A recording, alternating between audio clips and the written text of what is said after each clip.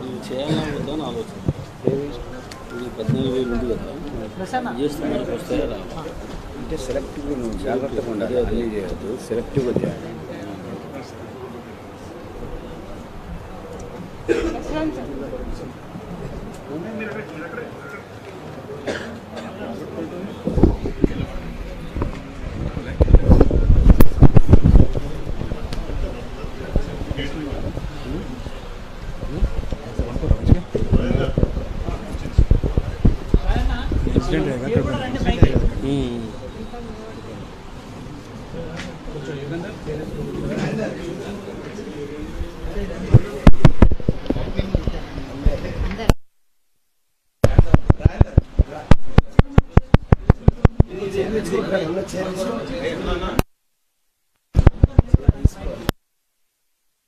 పైకి రా.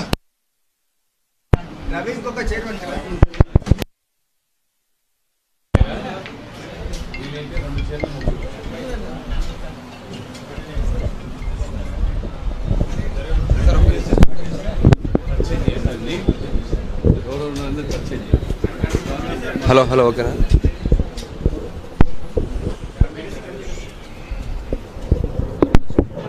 ఇదంతా టైం ఉంది నిలవండి.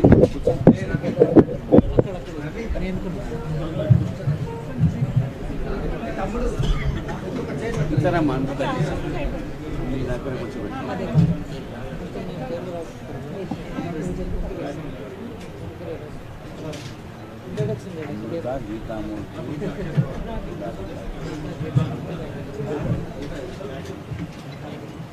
మీరు కొంచెం దగ్గర దగ్గర వాళ్ళు ఇద్దరు అడ్జస్ట్ అవుతారు. రైట్.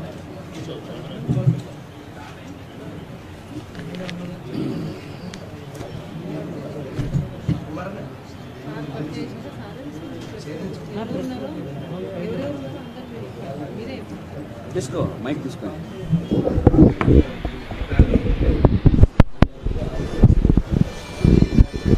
వాళ్ళ ముందు కూర్చొని మనం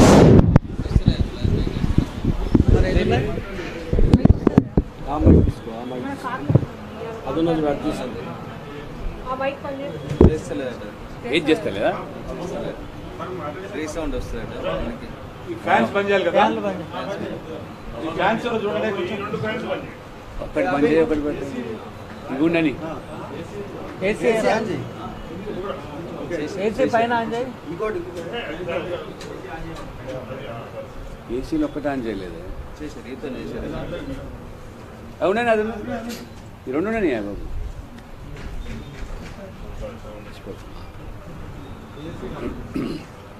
అదంటే ఏసీ ఎక్కడ ఒకటి ఆన్ చేయరాదు. రైట్. అంటే ఇప్పుడు తెచ్చుకుంటారు. అందరికీ పాత్రికేయ మిత్రులందరికీ. నమస్కారాలు ఈరోజు పత్రికా మీడియా సమావేశంలో గౌరవనీయులు పెద్దలు బీజేపీ రాష్ట్ర అధ్యక్షులు డాక్టర్ లక్ష్మణ్ గారు తర్వాత ఖైరతాబాద్ ఎమ్మెల్యే పెద్దలు శ్రీ చింతల రామచంద్రారెడ్డి గారు ఈ యొక్క యాత్రకి రాష్ట్ర ప్రముఖంగా వ్యవహరిస్తున్నటువంటి మాజీ శాసనసభ్యులు బీజేపీ రాష్ట్ర ఉపాధ్యక్షులు ధర్మారావు గారు తర్వాత జాజుల గౌరీ గారు రాష్ట్ర కార్యదర్శి. తర్వాత శాంతి కుమార్ గారు బీజేపీ రాష్ట్ర కోశాధ్యక్షులు.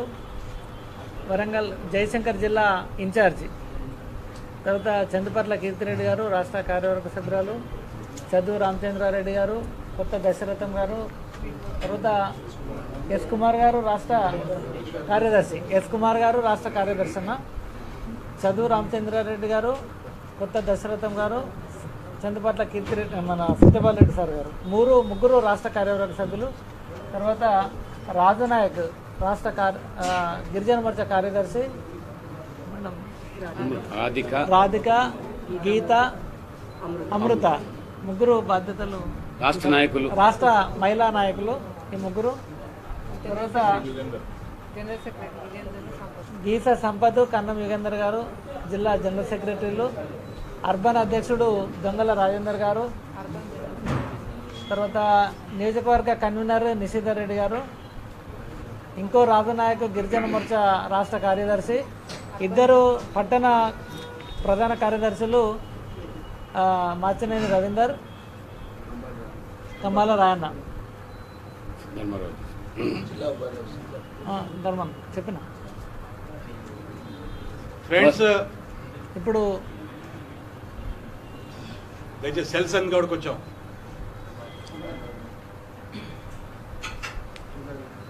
మార్పు కొరకు జనచైతన్య యాత్ర. ఈ యొక్క యాత్ర ప్రారంభమై ఈ రోజుకు సరిగ్గా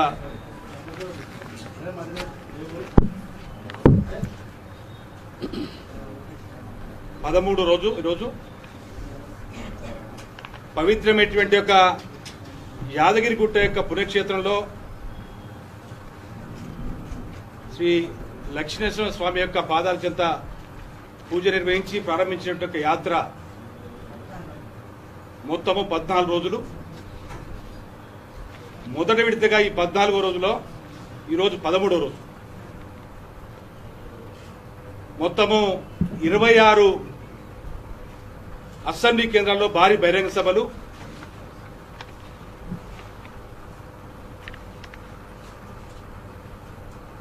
అదేవిధంగా నూట ఇరవై ఒక్క మండల కేంద్రాల్లో నూట ఇరవై ఒక్క మండల కేంద్రాల్లో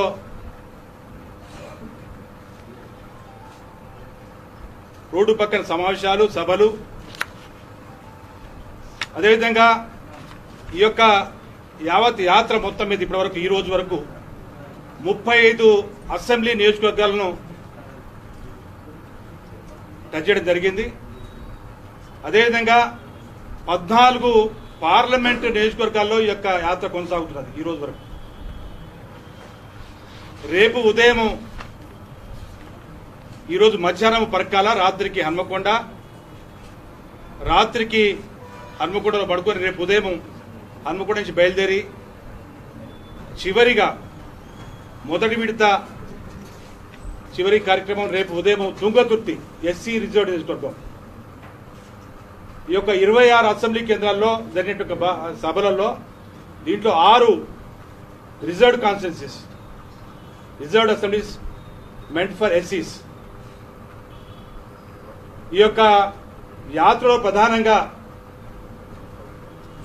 మాకు యావత్ యాత్ర మొత్తంగా కూడా సుమారు అరవై నుంచి డెబ్బై శాతం మంది ఎక్కువ భాగము కొత్తగా యువత. ఏ పార్టీకి సంబంధం లేక యువత. ఐదు వేల నుంచి పదివేల మంది పాల్గొన్నట్టు బహిరంగ సభలు. స్వచ్ఛందంగా తరలి వస్తున్నారు. దారి దారి పొడుగుతా యాత్ర పొడుగుతా మొత్తంగా కూడా భారీగా టూ వీలర్స్ యొక్క ర్యాలీస్ అధికంగా. ముఖ్యంగా చెప్పిన ఇంతకుముందు ఎక్కడైతే యువత వచ్చిందో అక్కడ భారీ టూ వీలర్స్ యొక్క ర్యాలీస్ జరిగినాయి. రైతులతోటి వివిధ వృత్తిపరంగా జీవించేటువంటి వృత్తిపరంగా పనిచేసేట కార్మికుల పట్ల వారి యొక్క సమస్యలు తెలుసుకోవటము.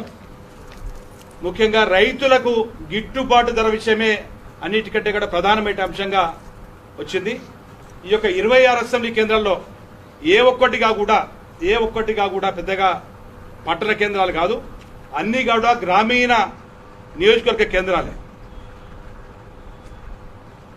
నైంటీ ఫైవ్ పర్సెంట్ వందకి తొంభై అంటే ఇరవై ఆరిట్లలో ఇరవై నాలుగు అసెంబ్లీలు మొత్తంగా కూడా పల్లెటూరు ప్రాంతాలకు సంబంధించిన ఒక రూరల్ కాన్స్టిట్యూన్సీసే పెద్ద ఎత్తున తరలి వస్తున్నారు ముఖ్యంగా ఏదైతే మరి యాత్ర ప్రారంభమైందో ఆ రోజు నుంచే రాష్ట్ర పార్టీ అధ్యక్షుడు కేంద్ర పార్టీతో ఏదైతే ఫీడ్బ్యాక్ వచ్చిందో రైతుల నుంచి గత అనేక రోజుల నుంచిగా కూడా రాష్ట్ర పార్టీ వైపు నుంచి డెలిగేషన్ ఢిల్లీ పోయి రామచంద్రరెడ్డి గారు అయితేమి లక్ష్మణ్ గారు కిషన్ రెడ్డి గారు మరి ఇతరత్ర అందరంగా కూడా ఈ యొక్క గిట్టుబాటు ధర కోసము ఏదైతే ఈ ప్రాంతం నుంచి ప్రాతినిధ్యం వహిస్తున్న యొక్క శాసనసభ్యులు ఢిల్లీ పోయి ముఖ్యంగా కేంద్ర హోంశాఖ మంత్రిని ముఖ్యంగా తను రైతు రైతు బిడ్డ. అదేవిధంగా వ్యవసాయ శాఖ మంత్రి గారితో మాట్లాడి ఈ యొక్క ఎన్హాన్స్మెంట్ విషయంలో రేట్స్ ఎంఎస్పి ప్రైస్ యొక్క పెరుగుదలను పెంచాలని చెప్పేసి అని వినవించడం జరిగింది. దానికి ఫలితంగా కూడా నిన్నే ప్రత్యేకంగా ఇద్దరి సమక్షంలో కేంద్ర స్వయంగా కేంద్ర వ్యవసాయ శాఖ సహాయ మంత్రి మరి నిన్న మానకొండూరు మండలంలో మరి వచ్చి ఆ యొక్క ప్రకటనలో భాగస్వామైనారు. ఈ సందర్భంగా లక్ష్మణ్ గారు ఈ యొక్క సమావేశాన్ని తీసుకుంటారు. ఈరోజు రేపు ఎవరు వస్తుంది చెప్పు ఈరోజు మధ్యాహ్నం ఇప్పుడు. జరిగే ఒంటి గంట జరిగే సమావేశం పరకాల ఎత్తుతో అక్కడ సురేష్ ప్రభు గారు కేంద్ర భారీ పరిశ్రమల శాఖ మంత్రివర్యులు అదేవిధంగా సాయంత్రం ఈరోజు సాయంత్రం హనుమకొండలో జరిగే సమావేశంలో కేంద్రం సంబంధించిన ఒక పార్టీ ఇద్దరు ప్రధాన కార్యదర్శులు ఒకరు రామ్ మాధవ్ గారు రెండోది మురళీధర్ రావు గారు. ఇద్దరు కూడా కేంద్ర భారతీయ జనతా పార్టీ యొక్క ప్రధాన కార్యదర్శులు. అదేవిధంగా రేపు రేపు మధ్యాహ్నం ఒంటి గంటకు తొంగుతిత్తులు జరిగే యొక్క సభకు కేంద్ర మానవ వనరుల శాఖ మంత్రి శ్రీ ప్రకాష్ జావడేకర్ గారు ఆ యొక్క సభలో పాల్గొంటున్నారు. ఫ్రెండ్స్ అందరికీ నమస్కారాలు. యాత్ర ఒకరోజు ముగింపు సందర్భంగా మిమ్మల్ని కలుసుకోవడం సంతోషం. భూపాల్పల్లిలో జరిగిన బహిరంగ సభ నా భూతో నా భవిష్యత్తు అనే రీతిలో ప్రజలు భారీగా తరలివచ్చి యాత్రకు మద్దతు పలికినందుకు యావత్తు భూపాల్ ప్రజలు భూపాల్పల్లి ప్రజలకు నా ధన్యవాదాలు. భూపాల్పల్లి పార్టీ నాయకత్వానికి కూడా అభినందనలు. నిన్న ప్రధానమంత్రి నరేంద్ర మోడీ గారు ఏదైతే రెండు వేల పద్దెనిమిది పంతొమ్మిది ఖరీఫ్ సీజన్కు కనీస మద్దతు ధర ప్రకటిస్తూ తీసుకున్న నిర్ణయాన్ని ప్రకటించిన తర్వాత సర్వత్రా కూడా దేశవ్యాప్తంగా రైతన్నలు సంబరాలు జరుపుకుంటూ తెలంగాణ వ్యాప్తంగా కూడా రైతులు నరేంద్ర మోడీ చిత్రపటానికి పాదాభిషేకం చేస్తూ మా జీవితాల్లో వెలుగులు నింపే కార్యక్రమం చేపట్టారని స్వచ్ఛందంగా కూడా రైతులు తమ హర్షాన్ని వ్యక్తం చేస్తున్నారు. రైతు కళ్ళల్లో నేడు యావత్ దేశంలో ఆనంద బాష్పాలు అదే రకంగా నరేంద్ర మోడీ రైతు మోడీగా మారిపోయినారు. ఒక రైతు సానుకూల నిర్ణయం వల్ల ఓ విప్లవాత్మకమైన మార్పు మొదటి ప్రధానమంత్రి నరేంద్ర మోడీ గారు తీసుకొచ్చారు. రైతును రాజును చేసిన చరిత్ర అది ఆ ఖ్యాతి నరేంద్ర మోడీ గారికే దక్కుతుంది. రెండు వేల ఇరవై రెండు నాటికి రైతుల ఆదాయాన్ని రెట్టింపు చేయాలనే లక్ష్యం అనుగుణంగా పూర్తి స్థాయి ప్రభుత్వం వ్యూహాత్మకంగా ఆ దిశలో అడుగులు వేస్తూ ఉన్నది. మార్కెట్ సదుపాయాలతో సహా పంట అనంతర నిర్వహణ మెరుగుపరచడంపై ప్రధానంగా ప్రభుత్వం దృష్టి కేంద్రీకరించి. ఆ దిశగా కొన్ని మార్కెట్ సంస్కరణలు ప్రవేశపెట్టింది. Model agriculture produce and livestock market act రెండు వేల పదిహేడు ఈ చట్టాన్ని తీసుకొచ్చింది. అదే రకంగా model contract farming and services act రెండు వేల పద్దెనిమిది. ఈ రెండు కూడా అందులోని భాగమే. ఈ పాటికే ఈ చట్టాలు అమలు చేయడానికి చాలా రాష్ట్రాలు చర్యలు మొదలుపెట్టాయి.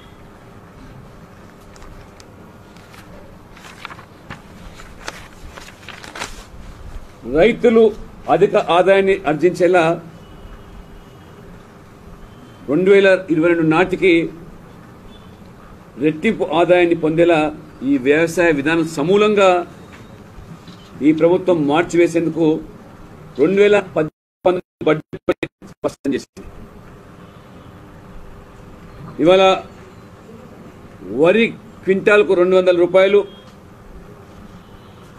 వలిసలకు క్వింటాల్కు పద్దెనిమిది వందల ఇరవై ఏడు పెసర్లకు పద్నాలుగు వందలు పొద్దుతిరుగుడు గింజలకు పన్నెండు వందల ఎనభై ఎనిమిది పత్తి క్వింటాల్కు పదకొండు వందల ముప్పై. పద్నాలుగు పంటలకు ఖరీఫ్ సీజన్లో మద్దతు ధర ప్రకటించి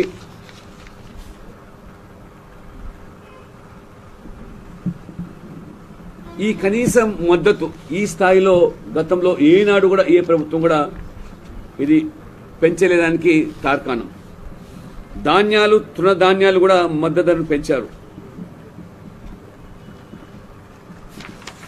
ఈ రకంగా జై జవాన్ జై కిసాన్ అనేది రైతే రాజు అనే అవి నినాదాలుగానే కొనసాగినాయి. కానీ వాటిని ఇవాళ అక్షరాల నిజం చేసింది. ఒకవైపు దేశ భద్రతలో రాజీ పడకుండా కాశ్మీర్ ప్రభుత్వం కంటే మాకు ప్రభుత్వంలో కొనసాగడానికంటే దేశ భద్రతనే మా ము- మాకు ముఖ్యమని ప్రభుత్వం నుంచి తొలగిపోయి దేశ భద్రతకు ప్రాధాన్యత ఇచ్చి పాకిస్తాన్ యొక్క ఉగ్రవాద శిబిరాలను ధ్వంసం చేయడానికి మెరుపు దాడులు చేసి జై జవాన్ను ఇవాళ గొప్పగా కీర్తించినటువంటి వ్యక్తి నరేంద్ర మోడీ. జై కిసాన్ నినాదాన్ని కూడా ఇవాళ రైతుల జీవితాల్లో వెలుగు నింపి వ్యవసాయాన్ని లాభసాటిగా మార్చేదానికి అనేక సంస్కరణలు. ప్రధానమంత్రి ఫసల్ బీమా ప్రధానమంత్రి భూసార పరీక్షలు ఈనాం పద్ధతులు మార్కెటింగ్ కొనుగోలు విధానాలు. ఇవి నిజం చేసినటువంటి ఈ నినాదాలను చరిత్ర అది నరేంద్ర మోడీ గారికే దక్కుతుంది. డెబ్బై ఏళ్ళుగా రైతుల పేర్లు చెప్పుకొని రైతుల ఓట్లు పొందిన పార్టీలు నాడు కాంగ్రెస్ అయినా నేడు టీఆర్ఎస్ అయినా. రైతులను నెట్టేట ముంచాయి. వ్యవసాయం అంటే దండగా అనే రీతిలో ఈరోజు గ్రామాల్లో ఉన్నటువంటి రాష్ట్రంలో దేశంలో ఉన్న డెబ్బై శాతం జనాభా వ్యవసాయం మీద ఆధారపడ్డ వాళ్ళను నీరుగార్చినటువంటి పరిస్థితి. కానీ ప్రభుత్వం వ్యవసాయాన్ని లాభసాటిగా చేయడమే కాకుండా వ్యవసాయం అంటే పండుగగా చేసుకునే విధానాన్ని శ్రీకారం చుట్టినటువంటి చరిత్ర. ఈరోజు రైతుల కళ్ళలో వారి ముఖంలో చిరునవ్వులు ఈరోజు మనం చూస్తూ ఉన్నాయి వాళ్ళు కేవలము ఓట్ల కోసం పథకాలు ప్రవేశపెట్టే తాత్కాలికమైనటువంటి చర్యలు ఈ ప్రభుత్వాలు కొన్ని తీసుకుంటే ఇవాళ శాశ్వత పరిష్కారం కోసం నరేంద్ర మోడీ గారు తీసుకున్నటువంటి నిర్ణయం వల్ల ఇవాళ మన ప్రభుత్వం రైతు బంధు అని పెట్టుబడి వ్యయం నాలుగు వేల రూపాయలు ఎకరానికి ప్రకటిస్తే పెంచిన మద్దతు ధర వల్ల ఇవాళ ప్రతి రైతుకు ఎకరానికి కనీసం పది నుంచి పదిహేను వేల వరకు ఆదాయం పెరిగే మార్గాన్ని ఇవాళ నరేంద్ర మోడీ ప్రభుత్వం ఇవాళ దాన్ని అమలు చేస్తూ ఉన్నది. ఐదు ఎకరాలు ఉన్న రైతుకు ఇవాళ యాభై వేల నుంచి డెబ్బై ఐదు వేల వరకు ఇవాళ లాభాన్ని చేకూర్చే పరిస్థితి. ఒకసారి పరిశీలిస్తే అసలు రైతు బంధు ఎవరు? పెట్టుబడి వ్యయం నాలుగు వేల రూపాయలు ఇచ్చిన కేసీఆరా? ఎకరాకు యాభై నుంచి డెబ్బై ఐదు వేల వరకు లాభాన్ని గడించేటువంటి ఒక శాశ్వత పరిష్కారం చూపినటువంటి నరేంద్ర మోడీ ఇవాళ ప్రజలు అర్థం చేసుకోగలుగుతున్నారు. మీరు రైతులకు బేడీలు వేసి జైలుకు పంపి రైతు బంధు కాదు రైతు రాబందుగా మీరు గుర్తింపబడితే ఇవాళ రైతులకు ఊహించిన దానికంటే కూడా అధిక మొత్తంలో మద్దతు ధర ప్రకటించి ఈరోజు శాశ్వతంగా రైతు బంధు బిరుదు నరేంద్ర మోడీకి దక్కినంలో ఈరోజు ఏమాత్రం కూడా అతిశయోక్తి లేదు. మార్కెట్ యార్డ్లలో కనీసం టార్పులను కూడా కొనుగోలు చేయనటువంటి ఈ దిక్కుమాలిన ప్రభుత్వాలు రైతుల పట్ల ముసలి కన్నీరు గార్చారు. ఇవాళ నరేంద్ర మోడీ ఒక దీర్ఘకాలిక ప్రయోజనాలతో అంచెలంచెలుగా వ్యవసాయాన్ని లాభసాటిగా మార్చేదానికి మొదటగా ఈ విద్యుత్ సమస్యను పరిష్కారం చేయడానికి ఏ రకమైన చర్యలు తీసుకున్నారో ఇవాళ రాష్ట్రంలో విద్యుత్తు ఇరవై నాలుగు గంటలు కరెంటు ఇవాళ ఆ పరిస్థితి. ఈ రాష్ట్ర ప్రభుత్వం ఒక మెగావాట్ అదనంగా ఉత్పత్తి చేయకపోయినప్పటికీ దేశవ్యాప్తంగా ఉన్న అదనపు విద్యుత్తును మన రాష్ట్రానికి తీసుకొచ్చే దాంట్లో నార్త్ సౌత్ గ్రిడ్లను కూడా ఏకం చేసి చవకగా ఇవాళ విద్యుత్తు కొనుగోలు చేసే పరిస్థితి నరేంద్ర మోడీ తీసుకున్నటువంటి అనేకమైనటువంటి విద్యుత్ రంగంలో సంస్కరణలు మార్పులు. విద్యుత్ సమస్యను పరిష్కారంతో పాటు యూరియా సమస్యను. ఇవాళ వేప పూత యూరియా వల్ల ఈ యొక్క కెమికల్ ఇండస్ట్రీస్కు యూరియా తరలించకుండా చర్యలు తీసుకోవడము ఆ వేపపూత యూరియా వాడడం వల్ల కూడా ఇవాళ ఉత్పత్తి పెరగడము ఎక్కడ కూడా ఒక చిన్నపాటి ఎరువుల కొరత ఈ నాలుగు సంవత్సరాల్లో మోదీ ప్రభుత్వం వచ్చిన తర్వాత. గతంలో ఎరువులు కావాలంటే యూరియా కావాలంటే లాఠీ ఛార్జీలు చెప్పులు క్యూలో పెట్టి పడిగాపులు కాపే పరిస్థితి నుంచి అధిగమించినటువంటి పరిస్థితి. ఎక్కడ కూడా ఎరువుల ధరలు పెరగకుండా దళారుల పాత్ర లేకుండా నేరుగా రైతుల ముంగిట్లోకి అవసరం మేర కూడా సరఫరా చేసిన ఉదంతాలు మనం చూస్తూ ఉన్నాం కాదు. రెండవది రుణ సమస్య. రైతులకు రుణాలు కల్పించడానికి. ప్రతి ఏటా బడ్జెట్లో ఏ రకంగా మొన్నటికి ఎనభై లక్షల కోట్ల రూపాయలు రైతులకు రుణాలు ఇచ్చే పరిస్థితి. ఇప్పుడు రైతుకు వ్యవసాయాన్ని లాభసాటిగా చేయడానికి మరి మద్దతు ధరతో పాటు ప్రకృతి వైపరీత్యాల వల్ల వాటిల్లే నష్టాన్ని నివారించడానికి ప్రధానమంత్రి ఫసల్ బీమా. యాభై శాతం కాదు పంట నష్టపోతే ముప్పై మూడు శాతం నష్టపోయినా.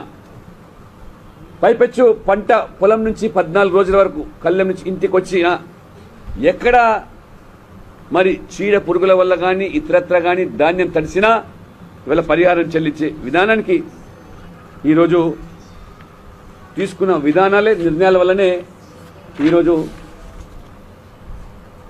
ఈ యొక్క వ్యవసాయం లాభసాటి దిశలో అడుగులు వేస్తుంది మొదటిసారిగా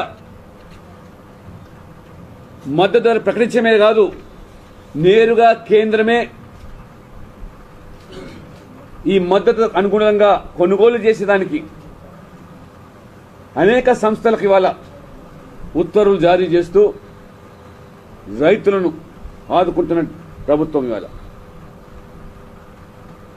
ఈ మొదటిసారిగా కూడా ఖర్చును అంటే పెట్టుబడి వ్యయాన్ని లెక్కగట్టి యాభై శాతం అదనపు ధరను కల్పించిన ప్రభుత్వం. ప్రపంచంలో ఇప్పటి వరకు ఎక్కడా లేదు. ఇది మొదటిసారి అందుకనే ఈరోజు నరేంద్ర మోడీ గారిని రాష్ట్ర భారతీయ జనతా పార్టీ తరఫున ఈ జనచైతన్య యాత్ర సందర్భంగా కూడా రాష్ట్ర అధ్యక్షునిగా రాష్ట్ర పార్టీ తరఫు నుంచి వారికి అభినందనలు. అదే రకంగా ధన్యవాదాలు తెలుపుతూ రాష్ట్ర రైతాంగానికి మీరు తీసుకున్న చర్యల భాగంగా. దాంతోపాటు వరంగల్లో నుంచి జరిగిన అగ్ని ప్రమాదం. భారతీయ జనతా పార్టీ ప్రగాఢ సానుభూతి వ్యక్తం చేస్తూ బాధిత కుటుంబాలకు వారికి మృతులకు శ్రద్ధాంజలి ఘటిస్తూ రాష్ట్ర పరిపాలన. ఏ రకంగా ఆయా శాఖలపై పట్టు కోల్పోయిన దానికి ఇది ఒక తాజా ఉదాహరణ. ప్రచారానికి అత్యధిక ప్రాధాన్యత ఇచ్చి ఈ టీఆర్ఎస్ ప్రభుత్వం శాఖల సమీక్ష ఏనాడు మర్చిపోయింది. అందుకనే రాష్ట్రంలో అగ్ని ప్రమాదాలు రోడ్డు ప్రమాదాలు ఇంకా ప్రకృతి వైపరీత్యం వల్ల భారీ వర్షాలు కానీ చిన్నపాటి వర్షం సంభవించినా కనీసమైనటువంటి డ్యామేజింగ్ కంట్రోలు లేదా క్రైసిస్ మేనేజ్మెంట్ లేక రాష్ట్ర వ్యాప్తంగా అన్ని ప్రాంతాల్లో కూడా ఏ రకంగా జలమయమైపోతున్నాయి పట్టణాల్లో నగరాల్లో పడవలో ప్రయాణించే దుస్థితి. వరంగల్లో జరిగిన ఈ ప్రమాదమే పూర్తిగా ఈ ప్రభుత్వమే బాధ్యత వహించాలి. మీరు చూస్తున్నారు ఇటీవల రోడ్డు ప్రమాదాలు కూడా ఏ మేరకు ఏ రకంగా జరుగుతున్నాయో. దానికి మద్యం కూడా ఒక కారణం అనే విషయం కూడా ఇవాళ నిపుణులు తెలియజేస్తా ఉన్నారు. అధికారులు రాజకీయ నేతల అండదండలతో వరంగల్ నడిబొడ్డున ఈ బాణ సంచ అక్రమంగా ఈ కంపెనీ కొనసాగుతున్నా మరి ఈ ప్రభుత్వానికి తెలిసి ఎందుకు చర్యలు తీసుకోలేకపోయింది? ఈ మృతులకు ప్రభుత్వం బాధ్యత వహించాలి. దానికి కారణం కాదని కూడా ప్రశ్నిస్తాను ఫైర్ సేఫ్టీ పరికరాలు ఏమాత్రం అమర్చకుండా ఈరోజు మరి అనేక సందర్భాల్లో మనం చూసాం ఇటువంటి ఈ ఫైర్ యాక్సిడెంట్స్. ఆసిఫాబాద్లో చూసాం బేగం బజార్లో చూసాం నల్గొండలో జరిగింది వరంగల్లో రోహిణి ఆసుపత్రిలో జరిగిన ఘటన ఇవన్నీ కూడా తార్కాణం. ఈ అధికారి కూడా ఇంతవరకు ఒక శిక్ష పడలేదు.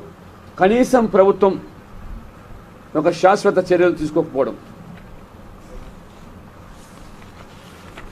ప్రభుత్వం ఐదు లక్షలు కాదు పది లక్షల రూపాయలు ఎక్స్గ్రేషియా ప్రకటించాలని చెప్పి మేము డిమాండ్ చేస్తున్నాం. చివరగా ఈ భూపాల్పల్లి గోదావరి పైన నీరు ప్రవహిస్తూ ఉన్నది. కింద బొగ్గు నిక్షేపాలు ఉన్నాయి. పుష్కలంగా. కానీ ఈ గోదావరి పరివాహక ప్రాంత ప్రజలకు మాత్రం జరిగిన మేలు ఏమీ లేదు. వాస్తవంగా ఈ కోల్ బెల్ట్ ప్రాంతం టీఆర్ఎస్ పార్టీ కేసీఆర్ పూర్తిగా విస్మరించి. సింగరేణి ప్రాంతానికి చేసిన వాగ్దానాలన్నీ కూడా ఎందుకు అమలు కాలేదు ఎందుకు అమలు చేయట్లేదని ప్రశ్నిస్తున్నాం. మీరు ప్రకటించిన వరాలు ఎందుకు ఆచరణలో పెట్టారు కేవలం ఎన్నికల నినాదాలైనా అది కార్మిక సంఘం ఎన్నికలైనా సాధారణ ఎన్నికలైనా. అందుకనే రాష్ట్ర ముఖ్యమంత్రి గారు మాట తప్పారు. మాట తప్పిన దానికే ప్రజలు చైతన్యం చేసే దానికే ఇవాళ ఈ యొక్క చైతన్య యాత్ర.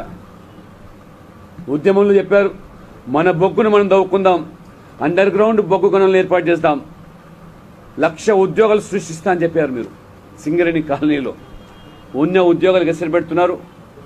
ఒక కాంట్రాక్ట్ ఉద్యోగం లేదని చెప్పిన మీరు అసెంబ్లీ సాక్షిగా ఇవాళ మేము యాత్ర ద్వారా ఎల్లందు ఈ భూపాల్పల్లి గోదావరికని రామగుండం లాంటి ప్రాంతాలు పర్యటిస్తూ ఉన్న సందర్భంలో ఇరవై ఐదు వేల మంది ఈ రోజు కూడా చాలీ చాలని జీతాలతో ఏడు వేల రూపాయల జీతాలతో పదిహేను సంవత్సరాలుగా పనిచేసే ఉదంతాలు. పచ్చి అబద్ధాలు మీరు అసెంబ్లీ సాక్షిగా మీరు కాంట్రాక్ట్ ఉద్యోగులను మోసం చేస్తూ మాట్లాడుతూ ఓసీపీలు రద్దు చేస్తామన్నారు.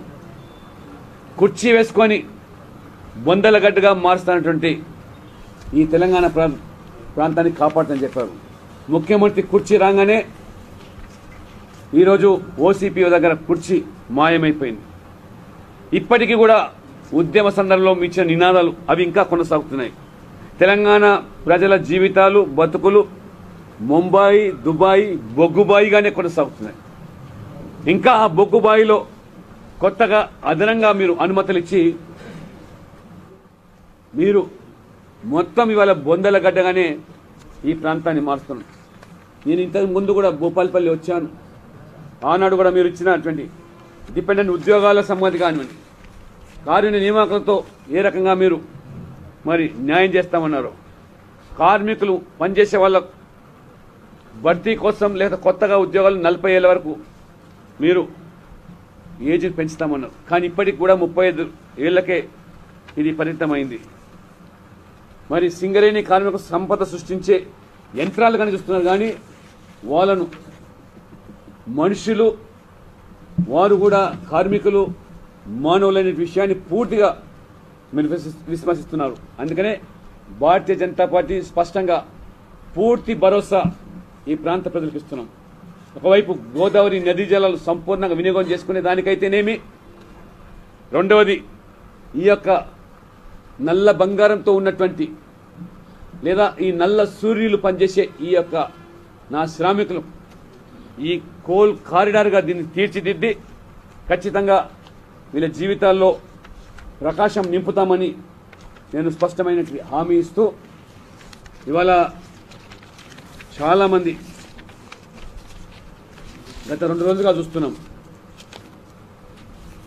గతంలో మజ్లిస్ నాయకులు ఓవైసీ సోదరులు హిందువులను కించపరిచి హిందూ దేవీ దేవతలను కూడా అవమానపరిస్తే ఈ టీఆర్ఎస్ ప్రభుత్వం కనీస చర్యలు తీసుకోకుండా ఏ రకమైనటువంటి సంతుష్టికర విధానాలు మెజార్టీ ప్రజల మనోభావాలు గాయపరిచేది వివరిస్తుంది రెండు రోజులుగా కోట్లాది ప్రజల ఆరాధ్య దైవమేమిటి శ్రీరామచంద్రుణ్ణి దుర్భాషలాడి అవహేళన చేసి దూషించడం కత్తి మహేష్ పట్ల ఈ ప్రభుత్వం ఎందుకు కఠినమైన చర్యలు తీసుకోవట్లేదని చెప్పి యావత్తు హిందూ సమాజం ప్రశ్నిస్తున్నది. భారతీయ జనతా పార్టీ కూడా ఈ ప్రభుత్వాన్ని నిలదీస్తున్నది.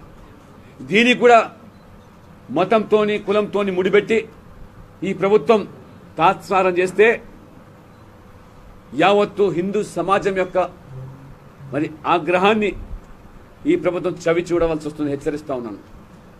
రాజకీయంగా తీవ్ర మూల్యం చెల్లించుకునే పరిస్థితి వస్తుంది కూడా నేను హెచ్చరిస్తాను. వెంటనే కఠిన చర్యలు తీసుకోవాలా. ఇటువంటి సంఘటనలు భవిష్యత్తులో పునరావృతం కాకుండా అవసరమైతే చట్టాల సవరించైనా ఈరోజు ప్రజల ఆరాధ్య దైవం అయినటువంటి శ్రీరాముని కించపడితే సహించేది లేనటువంటి విషయాన్ని నేను మరొకసారి ఈ ప్రభుత్వానికి నేను హెచ్చరిస్తాను. మీరేమన్నా?